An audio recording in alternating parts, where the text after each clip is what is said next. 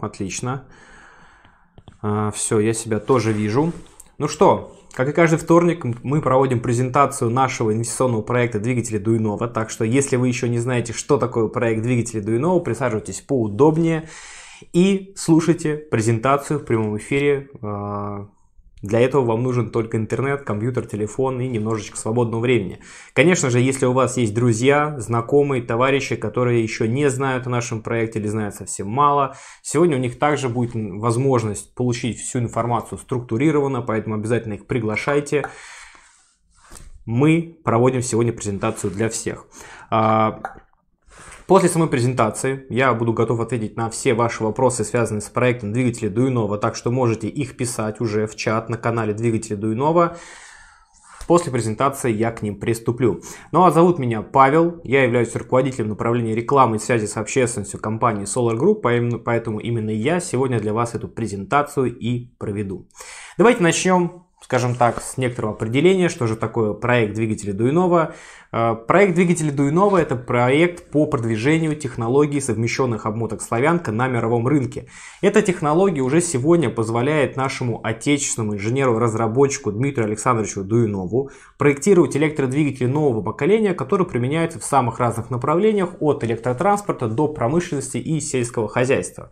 Конечно, для того, чтобы сделать из этого по-настоящему крупный бизнес, необходимы мощности, а точнее предприятия, в рамках которого такая работа может быть уже э, быть выстроена в виде целой такой бизнес-технологии. И сейчас в рамках нашего проекта мы начинаем уже строить э, инновационный центр, который будет называться Совелмаш. Именно в рамках этого предприятия команда Дмитрия Александровича сможет проектировать подобные электродвигатели для разных клиентов, для разных направлений, ну и, конечно, зарабатывать на проектировании таких электродвигателей. Конечно, для любого подобного бизнеса необходимы инвестиции, и в нашем случае они также необходимы. Отличие нашего проекта от многих других в том, что наш проект является народным, поскольку инвестиции привлекаются методом народного финансирования или коллективного финансирования, также это еще называется крауд-инвестинг. В общем-то, это такая схема привлечения инвестиций, когда деньги привлекаются от неограниченного количества малых и средних инвесторов, для вас это означает, что вы можете принять участие в этом проекте, проинвестировать посильную сумму средств для себя в этот проект и стать совладельцем того предприятия, про которое я уже сказал и про которое буду рассказывать сегодня еще не один раз. В общем-то, давайте начнем по порядку. Более подробно э, поговорим о том, что же из себя представляет та самая технология совмещенных обмоток «Славянка». Применяется она именно в электродвигателях, как я уже сказал. Что такое электродвигатель, я думаю, вы себе представляете. Электродвигатели сегодня мы используем абсолютно везде, во всех направлениях. Проще сказать, то где, не, где они не используются. Используем мы их и в электротранспорте, и в промышленности, и в сельском хозяйстве, и в авиационной отрасли, и в военной промышленности, и а, в бытовой технике, которая есть у каждого из вас дома. В общем-то, нам сегодня нужно знать, что 80% всех таких электродвигателей представляют из себя асинхронные электродвигатели. Асинхронные электродвигатели это наиболее такая универсальная электрическая машина. При этом она надежна, достаточно дешевая и, в общем-то, поэтому она настолько популярна.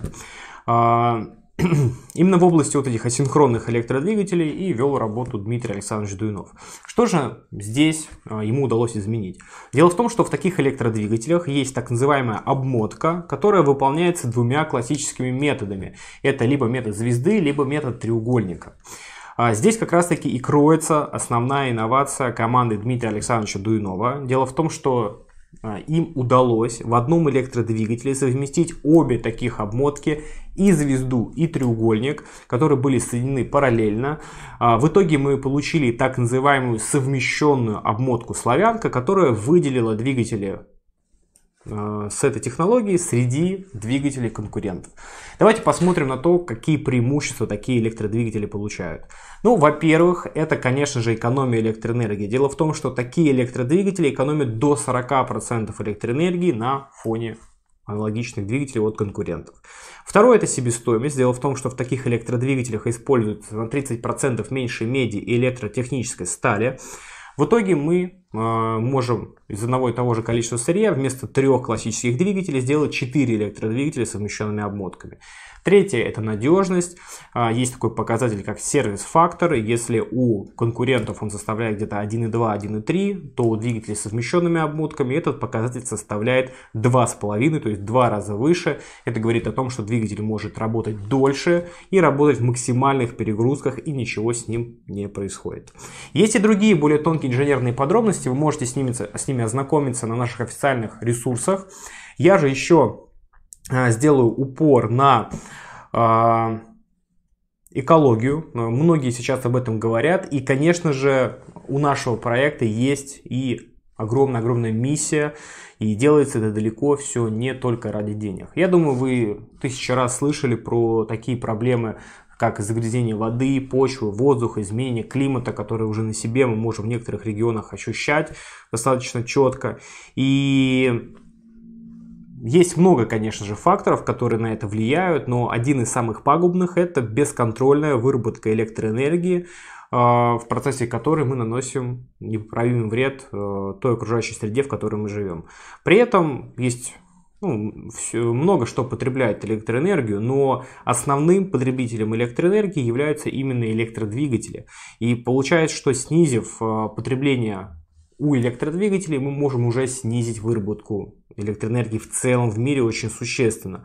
Но как мы можем это сделать? Э, ведь э, электродвигатели используются все больше, технологии приходят туда, где их раньше не было, мы начинаем все чаще использовать электротранспорт, и, казалось бы, мы здесь в западне. Но, конечно же, выход был найден, и сейчас главным трендом во всем мире, в том числе в направлении электродвигателей, является тренд энергосбережения. А, это ответ на вопрос, а как же сделать так, чтобы привычные нам электродвигатели выполняли то же количество полезной работы, но при этом потребляли меньшее количество электроэнергии. И для того, чтобы этот вопрос, этот процесс можно было регулировать и контролировать, была введена шкала, так называемая шкала энергоэффективности электродвигателей, где E1 это минимальный показатель, E4 максимальный. Дело в том, что большинство электродвигателей, которые сегодня работают во всем мире, которые производятся сегодня, это электродвигатели самых низших классов энергоэффективности E3, E4. То есть они достаточно низкоэффективны, они потребляют много электроэнергии, ну, соответственно, мы больше вырабатываем и наносим тот самый вред. А, при этом как же технология совмещенных обмоток сегодня решает эту ситуацию? Дело в том, что те электродвигатели, которые сегодня проектируются командой Дмитрия Александровича, имеют классы энергоэффективности E3 и E4, что является наивысшим классом энергоэффективности. И это говорит о том, что двигатели гораздо эффективнее вот именно с технологией Славянка того, что сегодня делают другие компании. Поэтому они делают то же количество полезной работы или даже больше, при этом потребляют совсем немного электроэнергии. Соответственно, переоборудовав значительную часть электродвигателей в мире на славянку, мы уже можем э, сохранить нашу природу в таком виде, в котором мы видим, и сохранить тот вред, уменьшить тот вред, который сегодня ей наносится процессами выработки электроэнергии. Надо отметить, что сегодня много компаний работают в этом направлении. Конечно же, многие эту проблему осознают, но сегодня еще никому не удалось сделать электродвигатель настолько же эффективным, при этом же настолько же дешевым, и компактным, как это делает сегодня Дуинов благодаря своей технологии. И именно та компания, которая сможет а, вот в этом новом а, направлении, в этом новом тренде вырваться вперед, конечно же, она и станет новым лидером на рынке электродвигателей. И, естественно, именно команда Дмитрия Александровича, компания Совелмаш сегодня делает все для того, чтобы это стало возможно. У вас, наверное, появляются вопросы о том, а, чем же все это можно подтвердить и какие есть как говорится, доказательства, да. А, ну, перейдем к научной базе, которая, конечно же, у проекта очень э, обширная за те годы, сколько уже а, команда занимается этой технологией. Первое это, конечно же, патенты. Патентов огромное множество, вы можете с ними ознакомиться на нашем официальном сайте, э, проверить их в независимых источниках, патенты все настоящие, они э, получались ранее, новые патенты до сих пор продолжаются, э, компании уже Sovelmash получаться, о чем в новостях мы периодически сообщаем. Второе это, конечно же, исследования, которые были проведены над электродвигателями, совмещенными обмотками. Очень важная часть, на которую нужно всем знать и помнить, что, конечно же, исследований огромное множество, их десятки, вы также можете их в открытых источниках найти, а, посмотреть результаты, выводы, все-все-все, что вам только необходимо. А, что а, на что стоит обратить внимание вот в этих исследованиях? Ну, во-первых, сами исследования проводились в самых разных уголках нашей планеты, и в России, и в Европе, и в Азии. И важно, что во всех вот в этих исследованиях и тестах технология славянка проявила себя так, как и было декларировано. То есть она была подтверждена. Все ее, скажем так, все то, ради чего все это делалось, это было подтверждено э, в том числе и в лабораторных а, исследованиях. И важно, что поскольку проводились они в разных уголках нашей планеты, можно говорить о том, что такие а, исследования были нет предвзяты, и им действительно можно доверять. А, вы можете еще раз с этими исследованиями сами ознакомиться, посмотреть данные, цифры, убедиться, что все действительно было подтверждено. Но Несмотря на это, конечно же, нельзя говорить о том, что технология имеет какой-то законченный вид, завершенный, если не было нет какого-то опыта практического применения этой технологии. Конечно же, э, про технологию совмещенных обмоток такого не скажешь, поскольку опыт практического применения здесь очень-очень широкий и уже не первый год технология применяется на практике. А, компания АСЦПП, в рамках которой шла работа над технологией совмещенных обмоток, еще давно понимала, что для популяризации технологии необходимо, чтобы как можно больше людей смогли ее испробовать, испытать. Ну и, конечно, это нужно было для а, теста на практике самой технологии. Поэтому было запущено направление так называемых лицензионных обмотчиков. А, это компании, физические лица да, или физические лица, которые занимаются ремонтом, обслуживанием электродвигателей, и они имели возможность а, заключить лицензионное соглашение с компанией АСЦПП на право коммерческого использования технологий совмещенных обмоток. То есть эти компании оказывали услуги своим клиентам, ремонтировали их электродвигатели и предлагали им вместо обычного ремонта сделать а, именно модернизацию по технологии совмещенных обмоток. Клиенты получали двигатели нового поколения, обмотчик получал деньги за свою работу, часть денег он отправлял а, в АСПП в качестве лицензионных отчислений.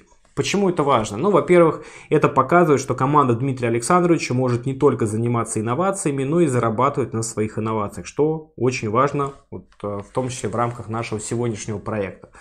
Во-вторых, а, а лицензионных обмотчиков на сегодняшний день уже более 100 по всему мир, миру, и за вот эти вот долгие годы работы они на практике смогли доказать а, эффективность технологии совмещенных обмоток, и это произошло на десятках тысяч самых разных асинхронных электродвигателей. Поэтому благодаря этой работе получился вот такой очень и очень широкий опыт применения технологии совмещенных обмоток на преимущественно общепромышленных асинхронных электродвигателях. Причем при этом а, все равно было понимание, что что такое общепромышленный асинхронный электродвигатель, знают далеко не все. И, конечно, для того, чтобы о технологии заговорили действительно широко и на весь мир, необходимо было сделать какие-то конечные продукты, в рамках которых а, можно было бы продемонстрировать а, эффективность технологии совмещенных обмоток. Так и появилась а, различные опытные образцы, э, в основном в направлении электротранспорта, в которых демонстрировалась эффективность двигателей с технологией совмещенных обмоток. Сейчас про некоторые я вам расскажу. Во-первых, конечно, это мотор-колесо Дуйнова. Мотор-колесо Дуйнова это, наверное, самый известный двигатель с технологией совмещенных обмоток, и этому есть причина. Дело в том, что это первый в мире асинхронный электродвигатель, выполненный в виде мотор-колеса. Никому до Дуйнова не удавалось сделать мотор-колесо асинхронным. Да, вы скажете, что можно купить аналоги в Китае и вообще, в общем-то, это же уже продается. В чем же разница? Ну, разница именно в первую очередь в технологии и во всех вытекающих, э, скажем так, последствиях из этого. Дело в том, что все, что сейчас делается, вот все эти мотор-колеса, это мотор-колеса, э, основанные на совершенно иных технологиях, так называемых BLDC электродвигателях. Ну, во-первых, э, они кроются в конструкции. Дело в том, что они содержат в себе постоянные магниты. Постоянные магниты содержат в себе редкоземельные металлы. А эти редкоземельные металлы являются полезными ископаемыми, которые добываются исключительно в Китае. Китай является монополистом на рынке этого сырья. В итоге он как монополист мало того, что может повышать цену год за годом, так он еще и запретил вывоз этого сырья из страны. И э, вам, как, например, какому-нибудь оптовому продавцу таких электродвигателей или мотор колес, э, вам необходимо либо закупать уже готовые изделия на территории Китая, готовые двигатели, и привозить их в страну, либо же строить завод на территории Китая. То есть ни о каком, например, отечественном производстве речи здесь уже идти не может. И, конечно же, все это влияет на итоговую цену, и в том числе и на доступность, и на дороговизну перевозки этих двигателей в то место, где их уже будут использовать. Именно по этой причине все больше и большее количество производителей электротранспорта и потребителей этих э, двигателей обращают свое внимание именно на разработку Дмитрия Александровича Дуинова. Дело в том, что она лишена всех этих недостатков, там нет дорогих и редких компонентов, а основными компонентами является медь и электротехническая сталь, которая добывается в огромном количестве мест, ну и достаточно дешево стоит. В итоге мы можем сделать дешевый двигатель, мы можем сделать его в любой точке света и в неограниченном приличном количестве. Но, конечно же, доступность и цена это не всегда там, единственный фактор, на который мы обращаем внимание. Конечно же, есть такой показатель, как надежность. И здесь снова мотор колесо Дуйно выигрывает по той причине, что асинхронные электродвигатели, они в принципе э, самые надежные в мире, и мотор колесо здесь не исключение. А, поэтому, э, скажем так, э, мотор колеса Дуйнова гораздо надежнее того, что сегодня делают в Китае. А, третье, это, конечно же, мощность. А, дело в том, что вот если мы возьмем два одинаковых мотор колеса, одно ну, для, для, для электровелосипедов, да, одно будет разработки Дуйнова, другое будет китайской разработки, они будут с виду полностью одинаковые практически, да, если там совсем внутрь не, не заглядывать, корпус вроде одинаковый, вес, габариты, но а, мотор-колесо китайского производства будет выдавать мощность 2-3 киловатта, мотор-колесо Дуйного будет выдавать мощность до 20 киловатт, то есть разница очень и очень серьезная, и все это достигается благодаря именно той технологии, на базе которой мотор-колесо Дуйного и построен, совмещенной обмотки. Нужно отметить, что мотор колес сегодня уже есть целая линейка подобных э, разработок. То есть это и мотор колеса для электровелосипеда, и для электроскутера, ну и, конечно же, для электроавтомобиля. В общем-то, это очень серьезно расширяет сам потенциал этого двигателя, хотя даже двухколесного транспорта вполне бы хватило для того, чтобы даже из одного вот этого двигателя сделать какой-то, ну, действительно серьезное производство и серьезный бизнес.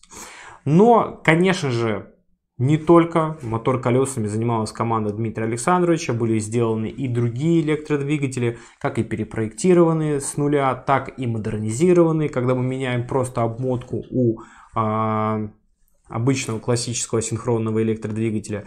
И э, можно рассказать да, про следующие другие вот опытные образцы. Это, например, электроавтомобили, да, продолжая говорить о них, это и Renault Twizy, и Renault Kangoo, которые вы сейчас увидите на, на презентации которые здесь есть рядом со мной, в общем-то, это электроавтомобили, в которые был, были установлены тоже электродвигатели с совмещенными обмотками. Это уже не мотор колеса, это более традиционное исполнение, когда ну, электродвигатель, можно сказать, мы ставим там под капот да, а, автомобиля.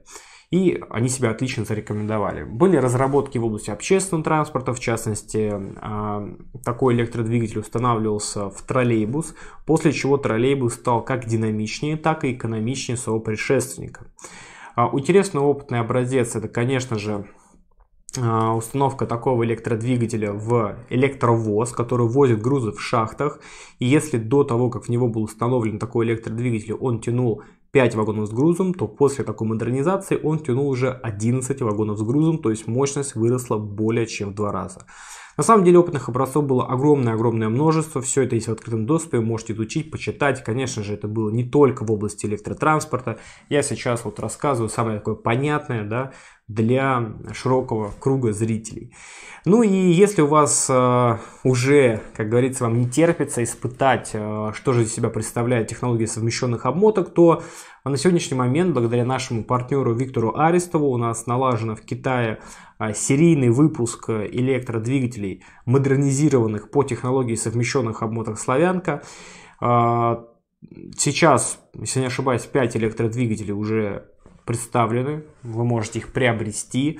Более того, можете приобрести как сам двигатель и установить его на свое транспортное средство, если вам это хочется. Также можете купить уже и готовое транспортное средство с таким электродвигателем, поэтому пользуйтесь, оставляйте отзывы, э, как вам двигатель с технологией совмещенных обмоток. А, вот я вам рассказал примерно о технологии. Конечно же, информации гораздо больше. Если вам хочется действительно во всем этом разобраться, вам нужно еще самостоятельно много-много чего изучить и прочитать.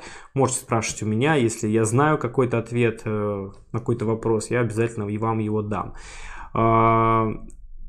Работа это длилась долгие-долгие годы. А, в 1995 году, да, 25 лет назад уже получается, Впервые технология совмещенных обмоток была успешно применена на практике командой Дмитрия Александровича. И после этого, как вы понимаете, шла очень долгая и большая работа. Это и, и патенты, и исследования, и практическое применение, и так далее, и так далее. Все это команда делала полностью на свои деньги. И в какой-то момент а, стало понятно, что технология уже отточена, что технология уже в принципе не нуждается в каких-то доработках, проверках э, и так далее.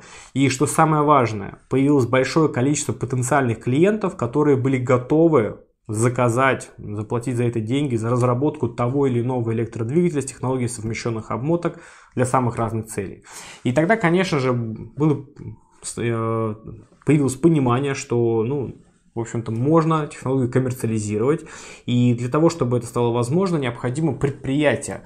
И так появилась возможно, вот, идея строительства инновационного центра, в рамках которого будет возможна работа а, с самыми разными электродвигателями и их проектирование для клиентов, для самых разных нужд. В общем-то, э, Конечно, для такого бизнеса необходимо финансирование. И сначала поиски финансирования были направлены по таким классическим направлениям, это поиск какого-то одного крупного инвестора, но договориться с ними не получилось и не по той причине, что никто не хотел давать деньги, скорее Дмитрий Александрович не хотел брать деньги на тех условиях, на которых ему предлагали. Условия были, ну, скажем так, обычные для таких проектов, э, когда инвестор не собирается с тобой на каких-то партнерских отношениях все это выстраивать, он а, хочет получить себе 80-90% компании, то есть по большому счету купить технологию, купить э, все, над чем а, там, разработчик работал, для того, чтобы себя обезопасить от всех возможных рисков, и уже дальнейшее там, смотреть и решать, как дальше все это будет развиваться. Дмитрий Александрович не стал продавать, а он решил развивать все это сам. От э, реализации проекта за рубежом также отказались по ряду идеологических причин и также соображений причин безопасности. И в тот же момент во всем мире очень активно развивался краудинвестинг, да, именно вот это вот народное финансирование. И было видно, что очень много людей в интернете поддерживают э, Дмитрия Александровича и то, что он делает. И многие писали то, что давайте как-то вместе, давайте мы вам поможем, давайте хоть что-то там как-то пожертвуем да, на развитие технологий. И видя вот эту огромную поддержку со стороны людей, при этом видя то направление э, инвестиционное, которое сегодня очень активно набирает в мире, во всем мире вот обороты, было принято решение как раз-таки а, применить этот инструмент, применить этот инструмент конкретно на этой технологии и на этой разработке. И а, было решено привлечь необходимое финансирование методом краудинвестинга или так называемого народного финансирования, коллективного финансирования, когда деньги привлекаются от неограниченного количества малых и средних инвесторов. Соответственно, а, каждый из вас может принять участие в этом инвестиционном проекте, проинвестировать посильную сумму средств для себя и стать совладельцем того самого инновационного центра, про который я сейчас говорил. А, давайте я расскажу более подробно, что же это за инновационный центр, затем я расскажу о том, а, как конкретно каждый участник может заработать вместе с этим проектом. Инновационный центр, который будет называться Совелмаш, и он будет располагаться на территории особой, э, государственной особой экономической зоны Технополис Москва около ну, города Москвы.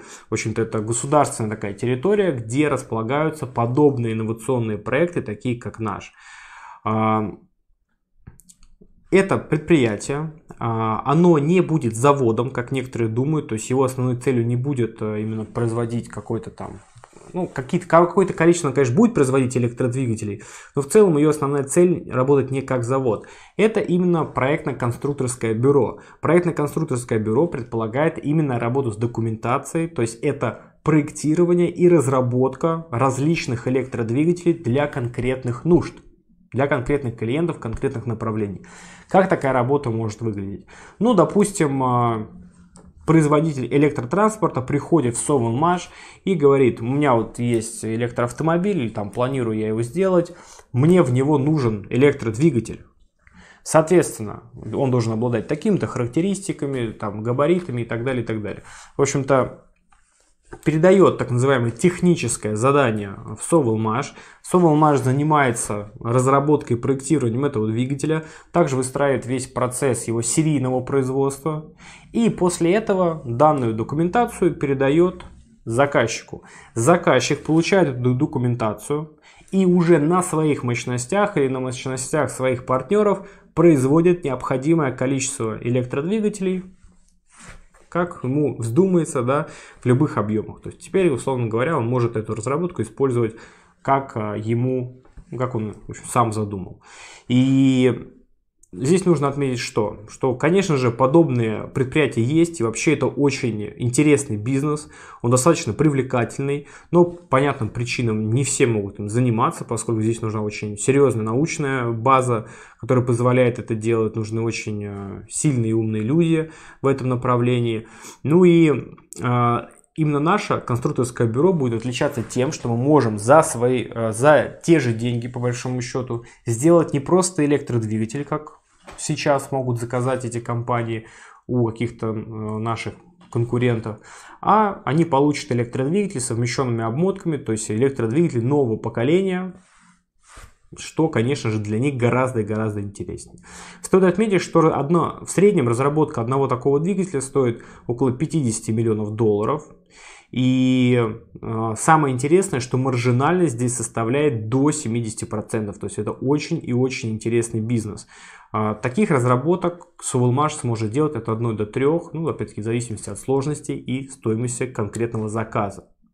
Вообще, конечно, этот бизнес очень интересен с точки зрения прибыли. Ну, а если он интересен с точки зрения прибыли и вообще ведения такого бизнеса, то, конечно же, он интересен и для того, чтобы в подобном бизнесе поучаствовать в качестве инвестора. И, как я уже говорил, у каждого из вас сегодня, благодаря а, той программе, которая действует вот именно направлению краудинвестинга, вы можете принять участие и проинвестировать пассивную сумму средств и получить часть от этого предприятия. Народное финансирование, оно действительно потому, что минимальная инвестиция в наш проект составляет всего лишь 50 долларов, ну а максимальная практически неограничена, поэтому каждый человек может найти для себя а, тот объем, да, ну, как скажем, ту сумму, которую он готов был бы проинвестировать для становления этого бизнеса. Сегодня каждый человек, который инвестирует в компанию, а, он приобретает так называемые инвестиционные доли. Конечно же, все а, эти взаимоотношения, все эти операции декларируются документально с помощью договора. В договоре вы получаете приложение, где описано каждое ваше действие в личном кабинете, все это записывается, все это видно, и пополнение баланса, и все остальное. Ну и, конечно же, вы получаете сертификат, в котором указано, какое количество инвестиционных долей принадлежит именно вам. То есть а, Здесь все очень прозрачно, вы можете получить эти документы как в личном кабинете, так получить их и в бумажном виде, если вам это нужно. Ну и, соответственно, а, вы получаете определенное количество инвестиционных долей в зависимости от суммы, которую вы проинвестировали. Что делать с инвестиционными долями? В общем-то, после того, как проект будет зафинансирован, ваши инвестиционные доли будут обменены на акции компании Sowellmash. И вы уже получите акции и прям юридически станете совладельцами этого предприятия. Что делать с акциями, я думаю, вам уже более понятно. Акции это одно из самых распространенных инвестиционных направлений в мире. И традиционно в акциях есть два способа а, заработать. Первый способ это продать свои акции дороже, чем вы их купили. Второе это получать дивиденды на свою долю. В общем-то тоже очень хороший, интересный способ. Давайте сначала поговорим про первый. Откуда у вас вообще появляется вот эта возможность продать свои доли в компании дороже, чем вы ее купили? Дело в том, что сегодня вы покупаете долю в компании с большой-большой скидкой. Это так называемый дисконт, который вы получаете за свой риск. Понятно, что сегодня вы как инвестор, инвестируя в проект, рискуете, поэтому вы получаете долю с большой скидкой. Соответственно, чем больше сумму вы инвестируете, тем большую скидку вы получаете. Также зависит от того момента, когда вы инвестируете в проект. Дело в том, что наш проект разделен на 20 этапов. И с каждым этапом мы приближаемся к реализации самого проекта. Сейчас у нас идет 14 инвестиционный этап. Естественно, на 14 инвестиционном этапе люди рискуют, инвестируя гораздо меньше, чем, например, на первом этапе. Поэтому та самая скидка или дисконт на первом этапе была гораздо выше, на втором уже ниже, на третьем еще ниже, на пятом еще ниже и так далее. На 14 она э, ниже, чем на 13. Но если вы только сейчас узнали про проект, ну, на 13 этап вы уже не вернетесь. При этом получить хорошие инвестиционные условия вы можете и сейчас на 14 этапе. Они будут гораздо-гораздо интереснее, эта скидка будет гораздо выше, чем на 15, на который мы также скоро уже перейдем. Так что, друзья, лучшее время для инвестиций это в тот момент, когда вы узнали о нашем проекте. Ну и, соответственно, вы получаете, инвести... вы получаете вот эти инвестиционные доли с большой скидкой. После того, как вы обменяете их на акции, Компания планирует провести IPO. IPO это процесс выхода компании на фондовый рынок. Соответственно, в процессе IPO вы сможете продать все свои акции уже по рыночной цене и заработать ну, вот, на такой, скажем так, спекуляции. Но на самом деле это тоже достаточно распространенный способ инвестирования. Можно это сравнить в некотором роде с инвестицией в стартапы, когда вы покупаете долю в какой-то компании, которая только зарождается, и продаете ее тогда, когда компания уже встала на ноги, когда они уже все говорят, конечно же, ваша доля уже будет стоить совершенно иных денег. Более того, сейчас вы покупаете не просто долю, а покупаете ее со скидкой. Здесь получается у вас двойное преимущество. При этом, а, конечно же, никто не будет заставлять вас свои акции продавать. Это ваша частная собственность, и ею распоряжаться вы можете так, как вам самим этого хочется. Поэтому вы можете оставить свои акции у себя, тогда у вас появится возможность а, получать дивиденды на свою долю. Дивиденды это часть прибыли компании, которую она распределяет на всех акционеров. И 50% всей той будущей прибыли, что будет распределяться на дивиденды, будет распределяться между всеми инвесторами. Соответственно, для инвесторов это возможность получать пассивный доход. А, дивиденды будут распределяться раз в год. Ну, объем дивидендов сейчас, конечно, в точности предсказать сложно, поскольку дивиденды это именно часть прибыли. Чем больше заработал, тем больше дивидендов распределил, тем больше заработали инвесторы. Но, как я уже вам говорил, бизнес очень интересный, поэтому прибыль у компании также должна быть ну, в рамках ожидаемой. Да? Мы не ожидаем, что ее будет там меньше или вообще не будет. Поэтому оба способа, они очень интересны, причем их можно комбинировать. Можно одну часть продать акции, другую оставить, на нее получать дивиденды. Здесь уже каждый выбирает сам. Мы видим, что эта идея, она находит отклик у большого количества людей, поскольку сегодня нас уже более 250 тысяч из более чем 100 стран мира. Новые инвесторы приходят каждый день. А мы очень активно развиваемся не только в России, хотя в России наш проект зарождался действительно, но уже сегодня если там, например, даже брать основные страны, да, это там, где есть национальные представительства, где у нас есть официальные люди, которые работают в этих странах, это уже около 15 стран, и постоянно это количество растет. Вот, например, 14 ноября у нас открытие национального представительства в Индонезии, причем это наша первая такая попытка да, открыть национальное представительство методом онлайн. Посмотрим, как у нас это получится. Но, в общем, работа это продолжается постоянно, и мы ее, естественно, останавливать не планируем. А, благодаря этой поддержке а, сегодня у нас а, уже реализована первая цель проекта. Это создание рабочих мощностей, где работают сотрудники Sovelmash и занимаются очень важной для проекта работой. У нас есть лаборатория, У нас есть опытный участок, где можно выпускать опытные партии электродвигателей с совмещенными обмотками. У нас есть намоточный цех, литейный цех и много-много еще всего э, важного оборудования, которое помогает проекту продвигаться. Сейчас вот это, то, что сейчас уже создано, это некоторая миниатюра того, что мы будем э, строить, то есть миниатюра нашего инновационного центра. Там оттачиваются все бизнес-процессы, там проектируются новые электродвигатели, там идут переговоры с нашими потенциальными клиентами. И сейчас работа идет э, такая, чтобы когда предприятие уже будет достроено, мы сразу начали работу э, с нашими клиентами и ну, чтобы не пришлось их искать тогда, когда предприятие уже общем, запустится. То есть сейчас это очень-очень важный этап. А, при этом продолжаются там и получаться новые патенты, что увеличит интеллектуальную собственность компании, и э, разрабатывается контроллер, и много-много всего еще параллельных процессов, которые стали возможны благодаря тем инвестициям, что в проект уже пришли.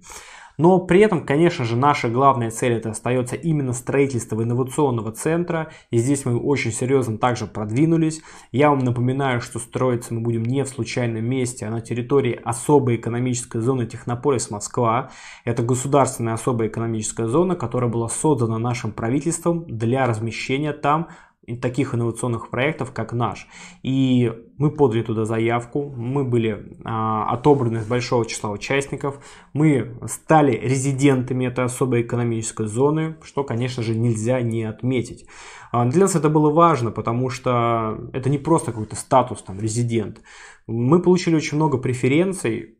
Первое, это, конечно же, бесплатные земля для строительства инновационного центра. Это легальное уменьшение налогов в первые годы работы. И мы будем их действительно намного меньше платить, что поможет нашему предприятию более эффективно свою работу начать. Третье – это инфраструктура, которой мы можем пользоваться. Это железнодорожные пути, линии электропередачи, дороги. Ну, то есть нам уже строить это не придется. Ну и, конечно же, кадры. Благодаря вот такому большому вниманию к самой особой экономической зоне, она сотрудничает с большим количеством вузов, большим количеством специалистов, и тем компаниям, которые размещены на ее территории, проще находить высококвалифицированные кадры, которые нам, безусловно, понадобятся для работы на нашем предприятии. А, после того, как мы стали резидентами, на самом деле это еще было далеко не все, нас впереди ждала очень большая работа, это отбор генерального подрядчика и подготовка, подготовки места к строительству э, территории особой экономической зоны, это установка паспорта объекта и всего остального. Но прежде чем приступить к самой вот стройке, нам необходимо было пройти еще ряд очень важных рубежей, которые, я уже сразу скажу, конечно же, были успешно пройдены.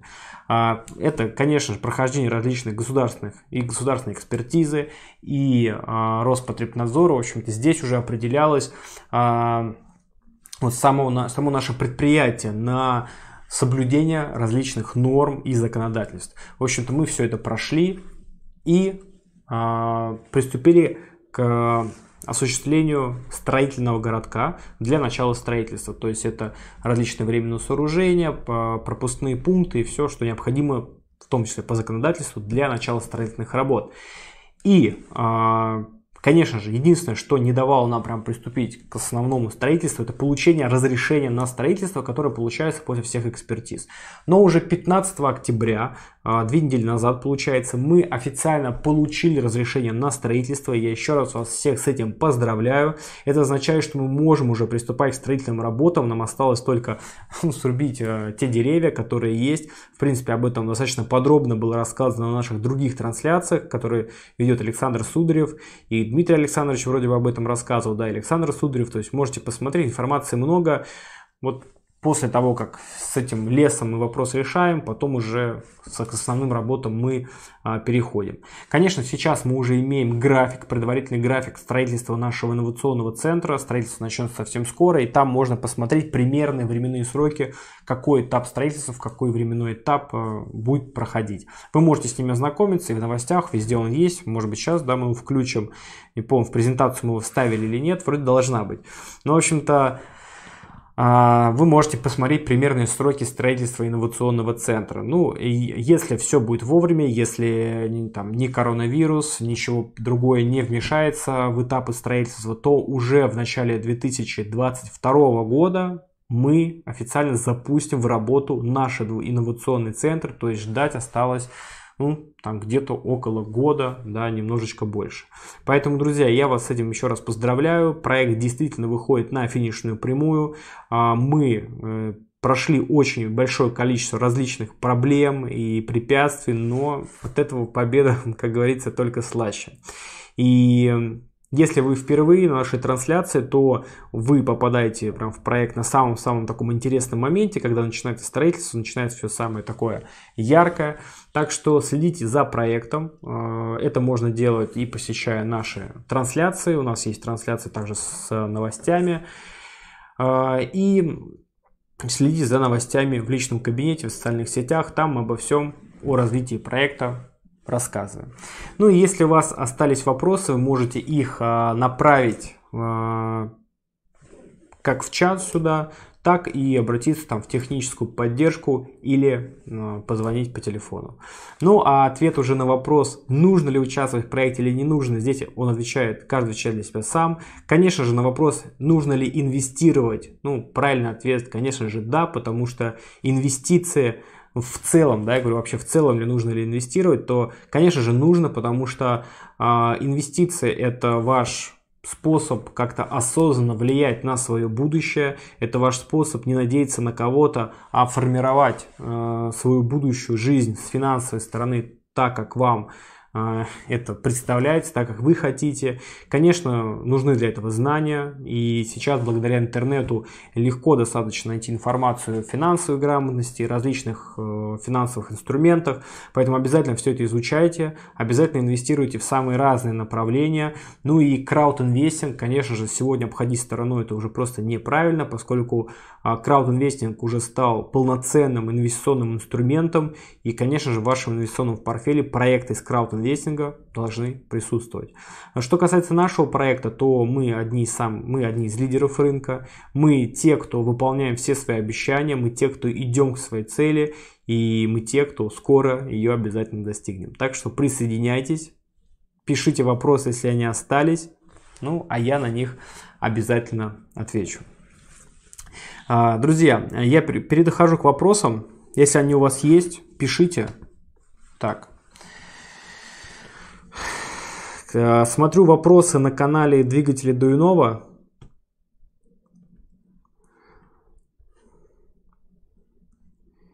И так,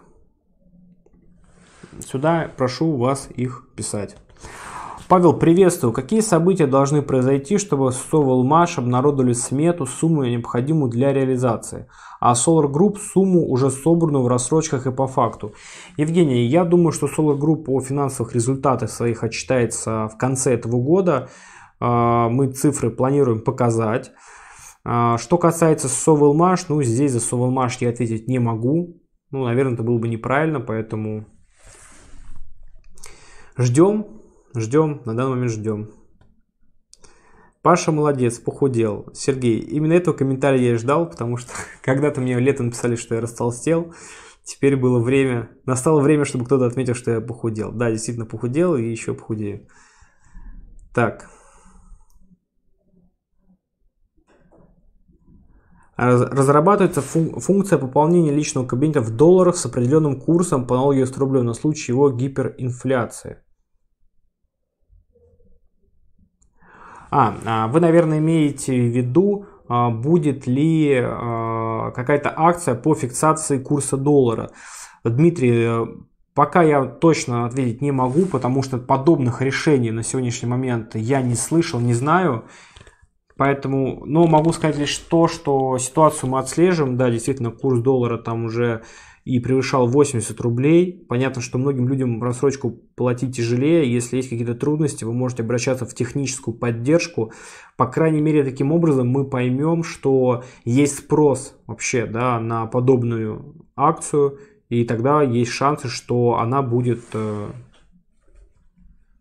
ну, в общем, будет введена. Когда примерно начнется 15 этап? 15 этап мы скоро совсем объявим дату Э, сегодня у нас начало ноября, да, ну, я думаю, что в течение одной-двух недель дату смены этапа мы уже объявим. Сколько всего этапов? Говорю про акции. Илья, этапов всего 20. Э, так, почему не снять видео, рассказывающее о команде Solar Group и Sovelmash? Рассказывающее о каждом члене команды его роли в проекте, хотя бы основные работы каждого. А, ну, смотрите, мы подобный ролик снимали, то есть мы со стороны Solar Group. В общем, то, что вы говорите, это правильно. Да, однозначно, это было бы интересно, и это было бы правильно.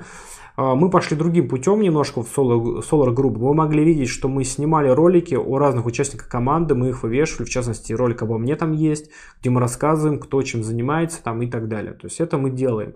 Вот, со стороны Sovelmash а, и мы сейчас продолжаем это делать, то есть просто даже понимать, что сотрудники Solar Group, они работают в самых разных городах, некоторые даже в разных странах, и то есть у нас такая команда, она как онлайн, да, мы не работаем все в большом офисе в каком-то и так далее, все работают преимущественно дома. А, и скажем так, ну, невозможно снять там ролик, да, человек, который живет очень далеко. Поэтому мы решили сделать следующим образом. Мы в Solo Group, в группе периодически публикуем статьи такие, да, и про национальных представителей, потому что они тоже такая часть э, команды, да, можно сказать. И это и сотрудники компании. В общем-то, мы это делаем в текстовом виде, стараемся. Поэтому смотрите, вот на Solar Group обязательно в соцсетях подписывайтесь. В, в личном кабинете это новости для партнеров, там это есть. Вот. А что касается э, Sovelmash, примерно та же самая ситуация. Э, ну, точнее, ситуация другая. Понятно, что все работают в одном месте, но там про каждого снимать Дмитрий Александрович уже говорил, почему так, вероятнее всего, не получится. Ну, потому что если Solar Group все-таки мы направлены на такой, как, как говорится, на пиар, да, на такой вот, на маркетинг, поэтому мы о себе рассказываем, кричим, то Sovelmash, они все-таки про другое, они про разработку, они про проектирование двигателей, да, и у них задачи в другом. А, у них есть люди медийные, да, которых вы знаете да, и они периодически появляются и на вебинарах у Александра Сударева, и где-то видео с ними выходит, и на конференциях они бывают выступают, то есть такие вот костяк некоторые вы знаете, и про них видео есть. Но есть огромная часть команды, которая, во-первых, не публична, которая не хочет и не умеет на камеру выступать. И более того, э, это не совсем правильно с точки зрения того, что они должны заниматься своей работой. То есть их никто не отвлекает, они занимаются своим делом, их не погружают вот в эти во всякие маркетинговые направления, потому что они должны думать только об этом. Э, здесь касательно того, что нужно ли снимать, нужно, будем стараться снимать побольше людей. В общем, кого, скажем так, Дмитрий Александрович одобрит, скажет, что можно с ним, если у человека будет время, то без проблем, почему бы и нет, ролик всегда можно сделать какой-то. Так, и есть ли еще тот инвестор, который гарантирует дофинансирование проекта? Не, сто, а, не стоит ли эту возможностью а, воспользоваться, чтобы уменьшить риск недофинансирования? Так, потенциальным инвесторам могут быть интересны эти два вопроса. Так, а, угу. А, смотрите, по поводу дофинансирования, я говорю, что этот вопрос сейчас я уточнял. Э, пока ответа я не получил, поэтому официального, поэтому не могу ответить.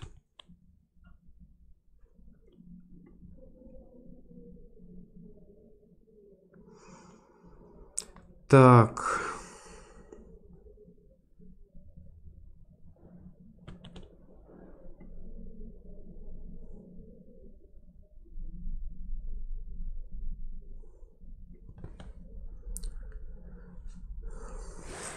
Павел, последний раз, когда был на вебинаре Семена, вы сообщили, что внутренняя биржа будет в течение года. Мы это помним и ждем. Ответ после окончания финансирования не подходит.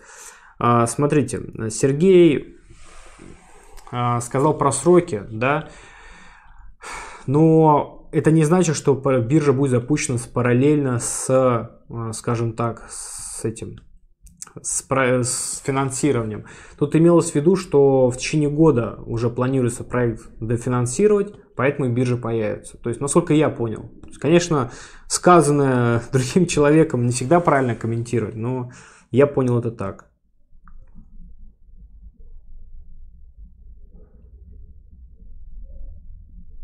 Так.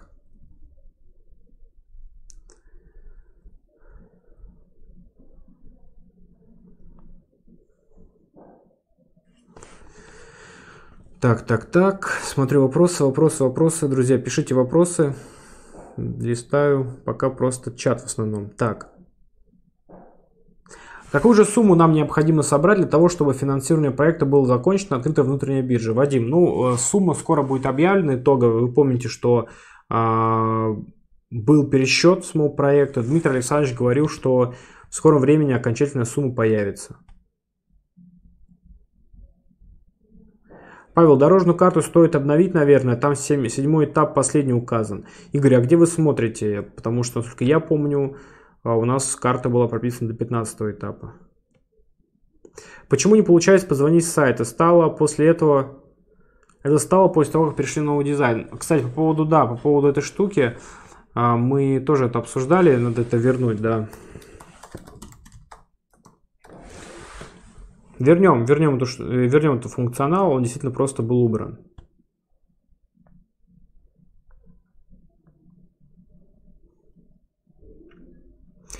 Так, ну что, вопросов больше не вижу. Вроде ничего не пропустил. Но раз вопросов нет, значит, как говорится, трансляцию можно завершать. В час мы уложились. А, так, а, во сколько, вот еще вижу один вопрос, во сколько раз а, подорожают доли с повышением этапа? Илья, ну в среднем где-то с каждый этап у нас а, идет удорожание где-то на 10-15%. Вот примерно оно так. Точный расчет а, долей, ну то есть вот эта таблица, она будет вы, вывешена вместе с новостью, с анонсом смены этапа, где будет указана дата и причины, почему мы меняем инвестиционный этап. Друзья, всем спасибо. А, хочу сделать небольшой анонс о том, что у нас завтра будет вебинар. Завтра у нас среда. как вы помните, а, по средам, не каждую среду, а через среду, мы проводим трансляции а, на нашем канале, вебинарном канале, как, YouTube канале, да, Solar Group. И там мы, в общем-то, говорим с вами о нашем всеми любимом инвестиционном проекте двигателя Дуйнова. И, конечно же, общаемся с разными интересными гостями, которые э, ну, кто, каждый обычно рассказывает о том, как он продвигает проект. Это самые интересные люди. То есть вот э, завтра у нас тоже очень интересный гость непростой, этот человек связан с технологиями даже больше, да, чем с инвестициями. Кто-то из вас может узнать, кто-то нет. Завтра все увидите. Гость достаточно интересный, мне кажется, что ну, в других вебинарах, на трансляциях, по крайней мере, в последнее время он не был. Так что информация точно будет новая, актуальная и интересная. Ну и, конечно, на ваши вопросы также я отвечу. Поэтому завтра, в среду, а, вебинар пройдет также в 17 часов по московскому времени. Вот мы случайно, скажем так, из-за нашего гостя Виктора Арестова начали это время использовать. Завтра еще раз попробуем уже намеренно это время. И посмотрим, посмотрим, насколько оно будет всем удобно. Так что завтра следите за новостями. Ссылка, время там, и так далее, описание, все это будет перед самим вебинаром в течение дня. Так что всех вас жду.